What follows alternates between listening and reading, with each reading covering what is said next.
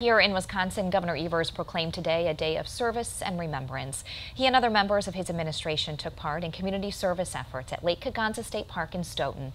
The governor said the purpose was to continue the recovery and healing journey that September 11th sparked for so many people, with the hope of making the park more beautiful.